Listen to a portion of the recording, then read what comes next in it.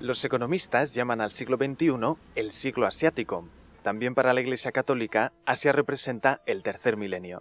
China, con sus 1.200 millones de habitantes, es uno de los destinatarios de la nueva evangelización. Su principal obstáculo es mayor que la muralla china. La Iglesia debe conectar Oriente y Occidente y demostrar que el catolicismo y la cultura china son compatibles. Para conseguirlo, puede ser útil mirar cómo se hizo en la época imperial. Xu Guangxi fue un personaje importante en su tiempo porque ayudó a jesuitas extranjeros a anunciar el Evangelio en China y a que fuera comprensible para la mentalidad y la cultura china. Las primeras misiones católicas en el gigante asiático se remontan al siglo XIII, pero los jesuitas llegaron en el 1500, la época de Xu Guangxi.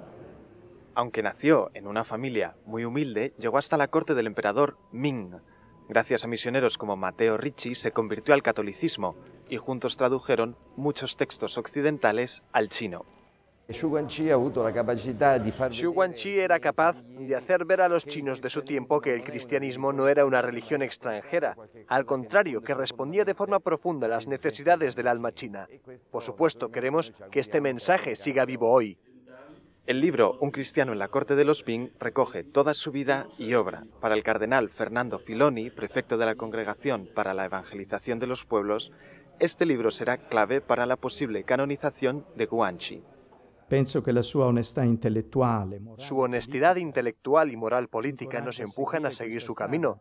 No habrá unidad en el futuro, ni siquiera para la Iglesia en China, si no seguimos las huellas que él dejó detrás.